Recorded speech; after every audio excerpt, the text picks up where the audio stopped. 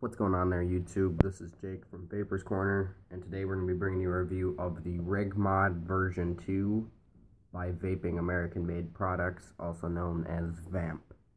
So the RigMod is a 25 millimeter 18, single 18650 hybrid mech mod.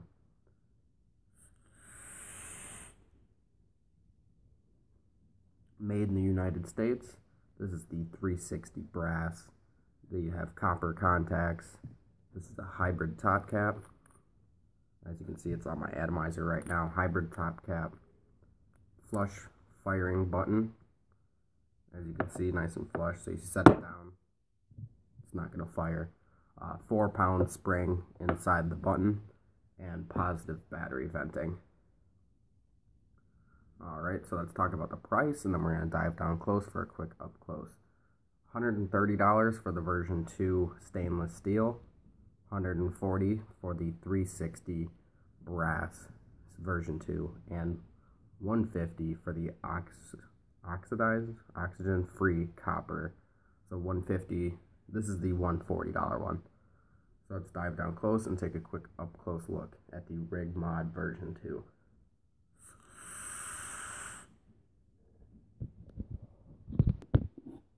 Alright, so we're going to spend a little bit of up close and personal time with the RigMod version 2 by Vaping American Made Products.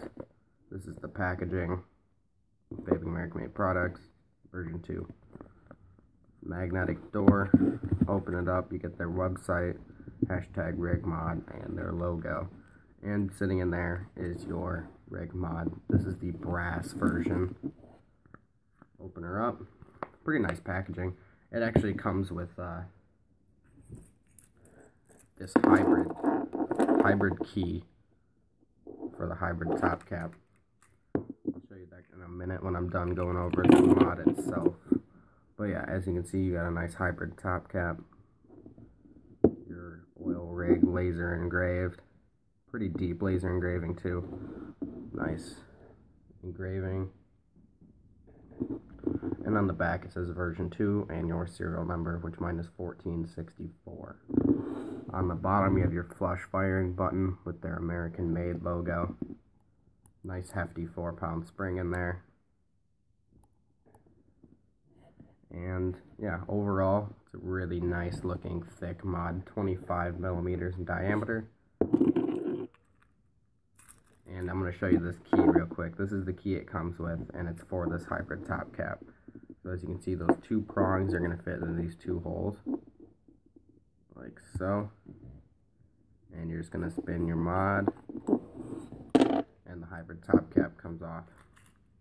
So yeah, it's pretty cool that they gave you this tool in case your hybrid top cap gets stuck in the mod or uh, on your atomizer. Pretty nice tool they give you.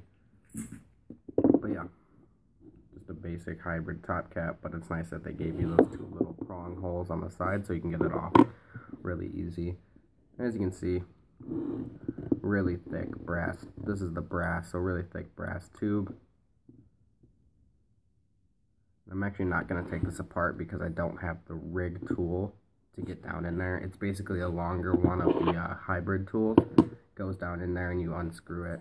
As you can maybe see, next to the button there's two little prongs just like on the hybrid top cap. So you're going to stick a tool down in there, unscrew it, your button's going to come out. There's a spring, your button, and a contact that just need to be turned in.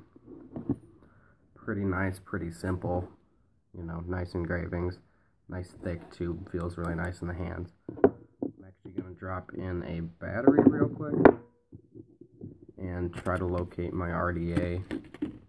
Today I'm going to be using these Cloud Chasers Incorporated Akron Archon RDA. Screw it onto my hybrid top cap first and then down into the mod.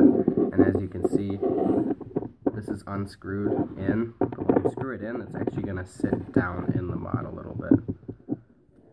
It's going to sit down in there a little bit. I don't know. I really like the look of the mod itself. Get my Yeah, I mean, it, it, there's your 25 millimeter to a 22 millimeter atomizer. That's what it's going to look like. I don't know if this works with bigger atomizers.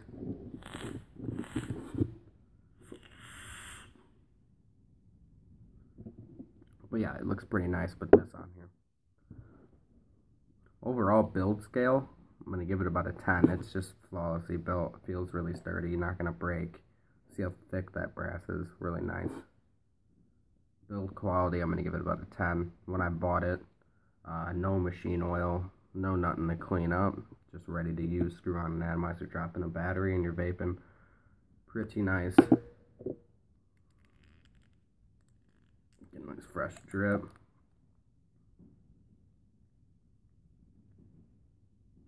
Gonna be dripping uh, Jimmy the Juice Man's caramel pear today.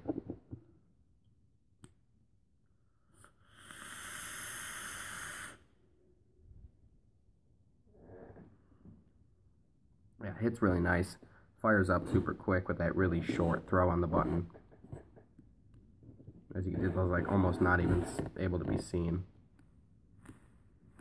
Really short throw on that button. But yeah, that's been the quick up close with the Rig Mod version 2. Let's dive back up top, give you my opinions, pros and cons, and if I lost it today, would I buy another one?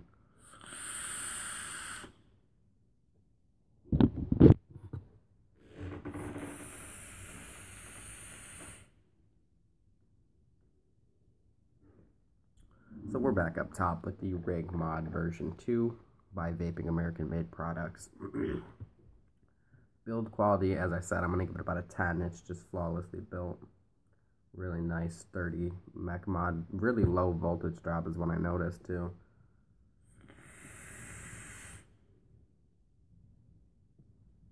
It's super hard. And I mean, for 140 bucks, 150 bucks at most, you're getting a really nice mod. You're getting a high-end mechanical mod. It's not out of my budget, but for people that are on their vape budget, you might need to save up a little bit. I'm saying it's not out of my budget just because the fact that I know I can spend this much money on it and be okay. I mean, I only work at Jimmy John's, but come on. If I can afford it, you guys can afford it, and it's a really nice mod. I definitely recommend the Rig Mod version 2 for anyone who loves their mechanical mods and is looking for a really nice high-end mech mod. The Rig Mod version 2 is a must-have. Let's take another couple hits and I'll give you my pros and cons and we'll wrap up the video.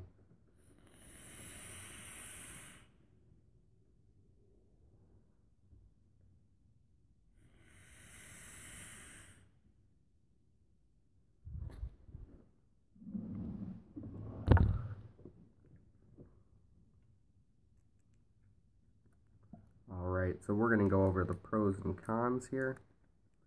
And if I lost it today, would I buy another one? so we'll go over the cons first.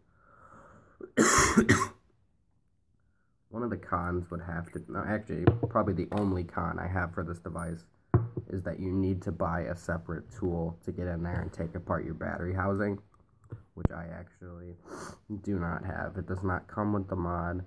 You have to buy it online separate at uh, vamp.com or vapingamericanmadeproducts.com. Buy a separate tool that just goes down in there and takes apart the battery or the button housing. Let's go over the pros real quick. The pros, I would have to do this hybrid top cap as a pro. Make sure you're using a protruding 510 pin though. Always be safe out there. Uh, another pro would be the the button. The button's just great. Cooks right up. You don't have to think about where you're pressing the button. Anywhere you press, it's just gonna fire.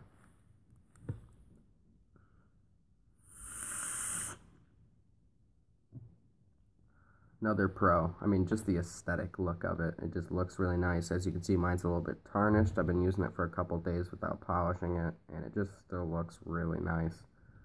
Um, nice deep engravings on it. You know, just looks really nice and it feels really nice in the hand. That 25 millimeter doesn't feel like thin and cheap. It just feels really nice, real heavy, really sturdy in the hand. Really nice uh, mech mod right here.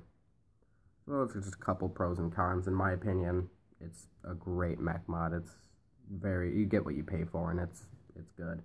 Uh, if I lost it today, I would definitely go out and buy another one. And I actually might be buying another one. I might be buying a copper one very soon. So if I buy that copper one, I'll just do a little channel update and let you know. But uh, yeah, this is the Rig Mod version 2. I highly recommend it. Very good uh, mech mod. But this has been Jake from Vapers Corner. Like, comment, subscribe. Check us out on Facebook at Vapers Corner. And just remember, YouTube, keep on vaping.